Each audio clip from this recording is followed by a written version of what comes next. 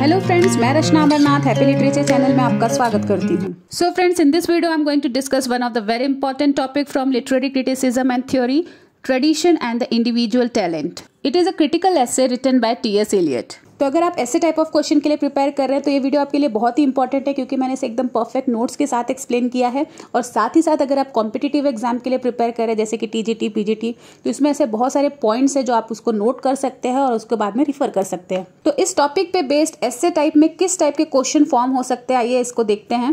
पहला क्वेश्चन है how does Eliot relate tradition to impersonality explain in the light of his idea of historical sense तो ये जो सारे कॉन्सेप्ट है इम्पर्सनैलिटी हिस्टोरिकल सेंस ट्रेडिशन ये सारी चीज़ आपको इस वीडियो में क्लियर होने वाला है। The next question is what are the views of T S Eliot on tradition and individual talent in relation to poetic creative process and the last is which of the central ideas are discussed in the essay tradition and individual talent तो ये question तीन है, लेकिन इसके जो content है वो same रहेंगे।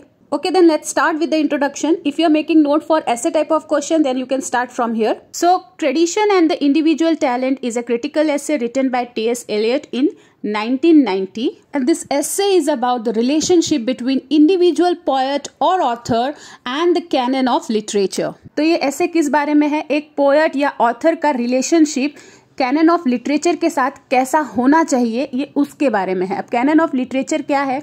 जो कई सारे इन्फ्लुएंशियल वर्क ग्रेट वर्क जो पहले से ही लिखे जा चुके हैं, उसके साथ जो आज के जो राइटर्स हैं, जो पोएट हैं, उनका रिलेशन कैसा होना चाहिए, ये क्रिटिकल ऐसे उन्हीं के बारे में। It was first published in the London literary magazine with the title named as the egoist उसका टाइटल क्या था? Egoist was republish a year later alongside nineteen of Eliot's other essays in the 1920 collection the sacred wood तो friends, इस ऐसे में Eliot ने poetry को लेकर जो उनका व्यू है, वो एक्सप्लेन किया है, वो डिस्कस किया है और साथ ही साथ जो ट्रेडिशन का जो इम्पोर्टेंस है, वो बताया है। So what is the meaning of tradition it is very important to understand the meaning of tradition so it means any belief और way of doing something that has continued from the past to the present कोई भी belief कोई भी काम करने का तरीका जो पास से कंटिन्यू होते आ रहा है और हम अभी तक उसको फॉलो कर रहे हैं तो वो क्या हो जाता है? ट्रेडिशन बन जाता है, जिसे हम हिंदी में परंपरा कहते हैं। तो कोई भी ट्रेडिशन कोई भी परंपरा अचानक से नहीं बनता, वो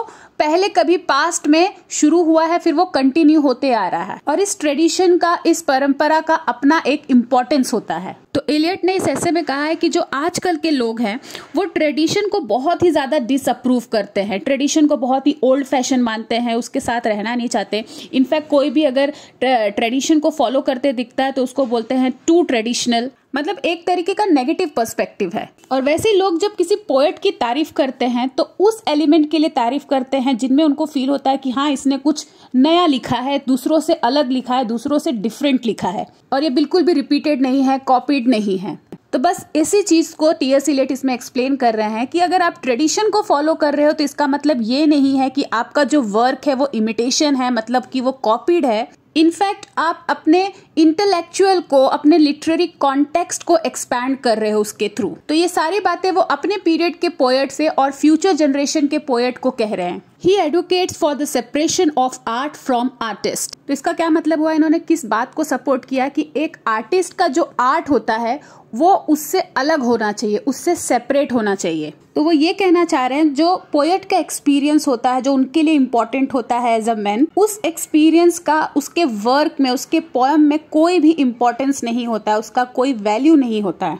और जो चीज़ पोइट्री के लिए इम्पोर्टेंट होता है, उसका पोएट के पर्सनैलिटी से कुछ लेना देना नहीं रहता। तो इसीलिए वो कह रहे हैं कि एक आर्ट को आर्टिस्ट से सेपरेट होना चाहिए। तो इस ऐसे में जो दूसरा टॉपिक जिसपे इन्होंने डिस्कस किया है, वो है थियोरी ऑफ़ इम्पर्सनल पोइट्री जिसका मतलब मैंने अभी बताया। So he advocates for the separation of art from artist and argues that tradition has less to do with imitation and more to do with understanding and expanding upon the intellectual and literary context in which one is writing तो इस introduction से ये clear हो गया कि Eliot's ने इस ऐसे में क्या डिस्कस किया है, किस बारे में बात किया है।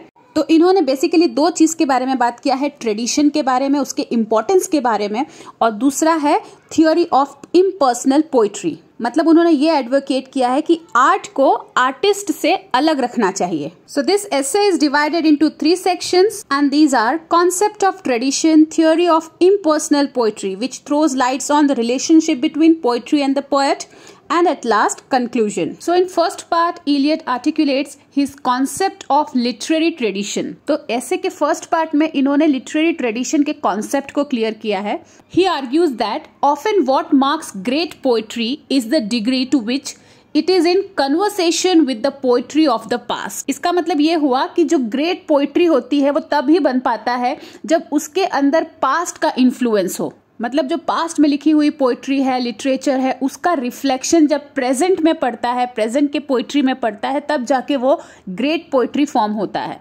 In his view to be traditional is not to lack originality but rather to possess an awareness of the whole of the literature of Europe तो इससे टी एस एलेट ये कहना चाहते हैं कि जब आज के ज़माने के पोएट ट्रेडिशन को फॉलो करेंगे तो इसका मतलब ये नहीं होता कि वो अपनी ओरिजिनलिटी को खो देंगे मतलब कि उनका जो लिटरेरी वर्क है वो कॉपीड कहलाएगा या इमिटेटेड कहलाएगा, बल्कि जब उनके वर्क में पास्ट का रिफ्लेक्शन दिखेगा तो ये प्रूव होगा कि पोएट कितना अवेयर है, उसे कितना नॉलेज है पहले के पोएट्स के बारे में, पहले के राइटर्स के बारे में। तो उसके वर्क में पूरे यूरोप के लिटरेचर का रिफ्लेक्शन दिखाई देगा।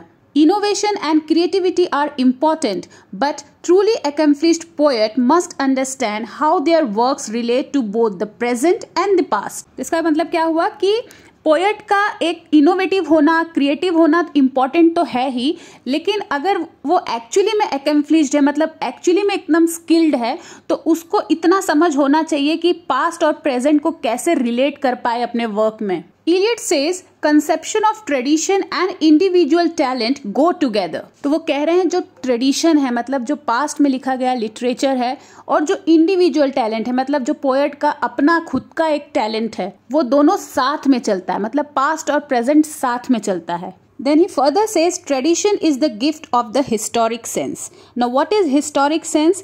It means a poet should have a sense of history of poetry इसका मतलब ये हुआ, जो आज के पोएट है, जो प्रेजेंट के पोएट हैं, उनको सारे पोएम्स और पोएट के बारे में पता होना चाहिए, जो इनके पहले लिखा गया था, जो इनके पहले थे. And the one who has the historic sense feels that the whole of the literature of Europe from Homer down to his own day including the literature of his own country, forms one continuous literary tradition. तो क्या कहा इन्होंने जिस poet के अंदर historic sense है means the poet who is aware of the history of poetry and feel the flow of continuous literary tradition right from Homer to his present day. अब Homer कौन है? एक एट सेंचुरी बीसी के Greek poet मतलब कितना पुराने poet है। तो ये बोल रहे हैं कि उनके ज़माने से लेके तुम्हारे ज़माने तक तुमको फील होगा कि जो ट्रेडिशन है वो कंटिन्यूस चलता आ रहा है। अगर तुम्हारे अंदर हिस्टोरिक सेंस है, ये पोएट को कह रहे हैं। Tradition represent the accumulated wisdom and experience of ages and so its knowledge is essential for really great and noble achievements. तो tradition में कई सालों का experience होता है wisdom होता है और इसलिए ये बहुत ही ज़्यादा essential है बहुत ही ज़्यादा important है अगर किसी भी writer को किसी भी poet को कुछ ग्रेट कुछ नोबल अचीव करना है। He also describes the relation between poet's individual talent and tradition so what is individual person और thing which is separate from a group मतलब ग्रुप से अलग होना एक इंडिविजुअल एक single quality so according to Eliot no poet no artist of any art has his complete meaning alone मतलब किसी भी आर्टिस्ट किसी भी पोएट का उसके आर्ट में उसका इंडिविजुअल मीनिंग नहीं होता, उसका सेपरेट मीनिंग नहीं होता है। वो कहीं ना कहीं ट्रेडिशन से कनेक्टेड रहता है।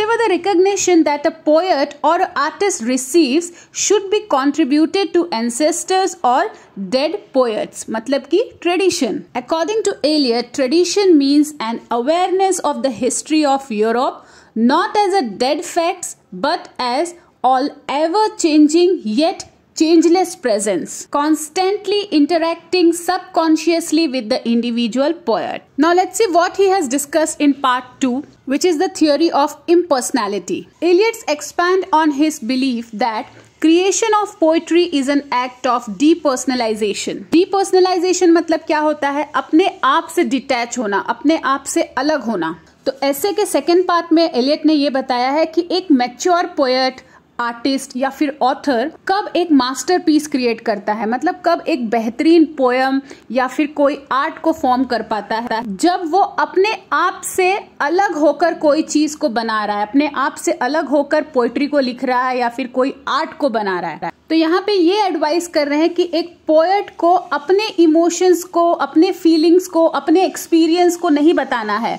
अपने आप से अलग होकर कुछ लिखना है या कुछ क्रिएट करना है। तब जाके तुम्हारा एक मेच्योर वर्क क्रिएट हो पाएगा। इन्होंने वर्ड्सवर्थ के पोइट्री के फ़ेमस डेफिनेशन को एकदम से कंडेम किया है, जिसमें उन्होंने कहा है that poetry is spontaneous overflow of emotion Okay, now let's understand with the help of text. Whenever a reader reads a work of a poet, not just poet, it can be author or artist also. So he might either accept the content as a poet's personal opinion तो reader जब किसी भी work को पढ़ता है या देखता है तो वो क्या समझता है ये ऑथर का आर्टिस्ट का या फिर पोइट्री का एक पर्सनल ओपिनियन हो सकता है या फिर नहीं हो सकता है तो रीडर के दिमाग में ये दो चीज़ होती है या तो ये कंटेंट जो है वो पोएट से रिलेटेड है या तो रिलेटेड नहीं है। So this is basically depersonalization theory that T S Eliot speaks in the essay he says Honest criticism and sensitive appreciation are directed not upon the poet but upon the poetry. तो जो भी appreciation रहता है या फिर criticism रहता है जो भी judgment है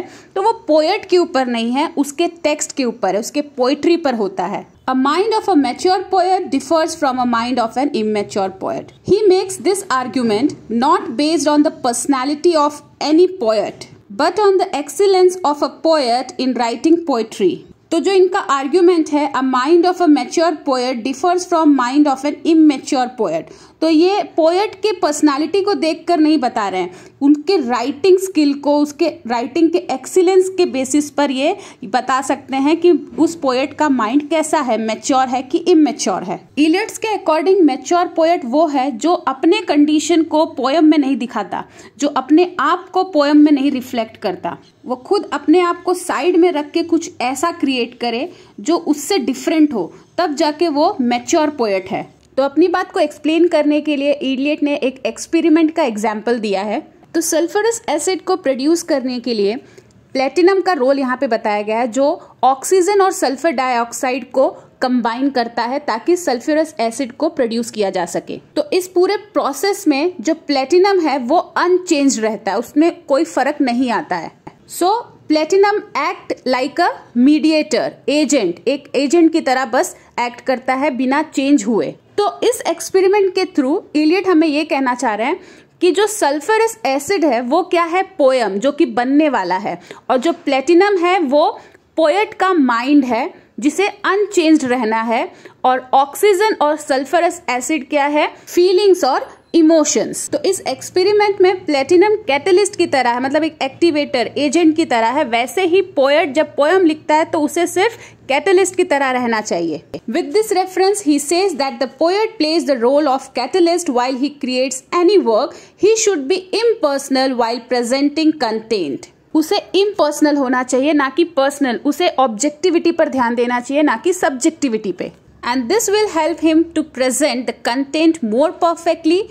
Emotion and feelings act as sulfur dioxide and oxygen. So in the third part, he concluded his essay by reiterating his argument. Reiterate means to repeat. So what he repeated that emotion of art is impersonal. In his view, the work of poets is not to convey their own sincere emotion but rather to act as a medium through which the collective thoughts, feelings and emotion of the living mind of Europe are conveyed. तो friends इस video में बस इतना ही। I hope ये concept आपको पूरी तरीके से क्लियर हो गया हो। अगर आपके लिए वीडियो हेल्पफुल है आपको वीडियो अच्छा लगा है तो प्लीज़ इसे लाइक कर देना। लाइक करना मत भूलना। और चैनल को भी सब्सक्राइब कर लेना। ऐसे बहुत सारे वीडियोज़ आने वाले हैं जो आपके लिए हेल्पफुल हो सकता है। इनफैक्ट आप भी मुझे कोई भी लिटरेचर से रिलेटेड टॉपिक सजेस्ट कर सकते हैं। तो मिलते हैं मेरे नेक्स्ट वीडियो में एक नए टॉपिक के साथ, तब तक के लिए आप अपना ख्याल रखिए। बाय